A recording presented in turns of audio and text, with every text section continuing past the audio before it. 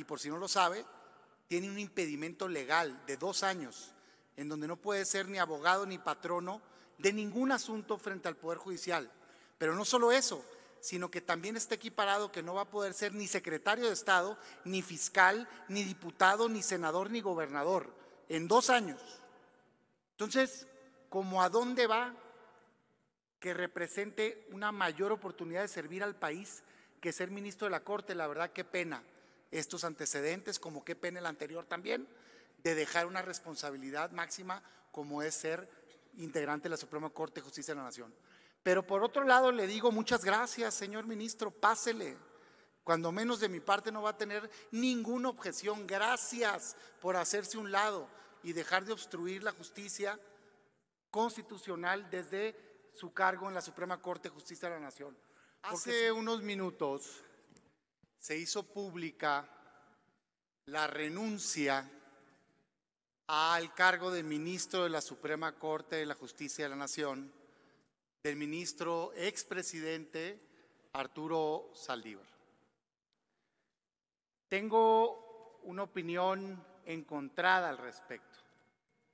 Por un lado, lamento profundamente el desprecio que un integrante de la Suprema Corte de Justicia de la Nación le puede tener al cargo de ministro.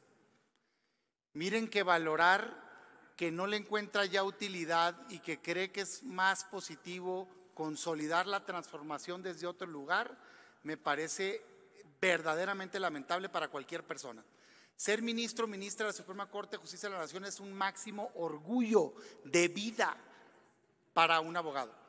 No existe otro cargo en donde se va a poder desempeñar, porque para empezar, y por si no lo sabe, tiene un impedimento legal de dos años, en donde no puede ser ni abogado ni patrono de ningún asunto frente al Poder Judicial.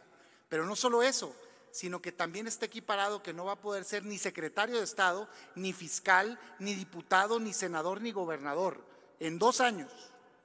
Entonces, ¿cómo a dónde va que represente una mayor oportunidad de servir al país que ser ministro de la Corte? La verdad, qué pena estos antecedentes, como qué pena el anterior también, de dejar una responsabilidad máxima como es ser integrante de la Suprema Corte de Justicia de la Nación. Pero por otro lado le digo muchas gracias, señor ministro, pásele. Cuando menos de mi parte no va a tener ninguna objeción. Gracias por hacerse un lado y dejar de obstruir la justicia constitucional desde su cargo en la Suprema Corte de Justicia de la Nación. Porque si bien hay resoluciones, resoluciones interesantes en otra época, en la última época de este ministro que fungió como presidente y en coincidencia con este sexenio fue una pena sus posiciones.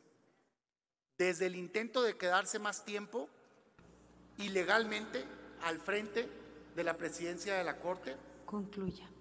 Hasta resoluciones en contra de posiciones históricas de protección de derechos humanos y demás. Para tener un ministro que esté subordinado al interés del Poder Ejecutivo, mejor tengamos la oportunidad de nombrar a una nueva persona ahí. Pero mi llamado va a este Senado y particularmente a la oposición, a que estemos a la altura.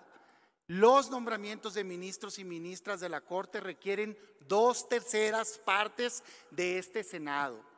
Y nunca ha tenido dos terceras partes el presidente López Obrador y Morena, desde 2018 hasta ahorita. Y sin embargo ha logrado todos los nombramientos que ha querido. ¿Cómo es posible si no tiene los votos? Porque ha votado parte de la oposición. Y hoy un cortadero de venas, que qué bárbara la ministra Yasmín Esquivel. Qué bárbara, qué bárbaro quien nombró a la ministra sabiendo que había una subordinación. Y eso implica toda la mayoría de Morena más una parte de la oposición. Y sí, sí sabíamos de la cercanía política, yo lo dije en esta tribuna. Qué sorpresa el comportamiento de la ministra, con mucho respeto, Ortiz, pues yo no sé qué le sorprende, había sido diputada del movimiento un tiempo antes y había trabajado en la presidencia de la República. Como qué parte le sorprende de la cercanía. Los cargos de ministro y de ministras de la Corte son para ser independientes, son para ser autónomos.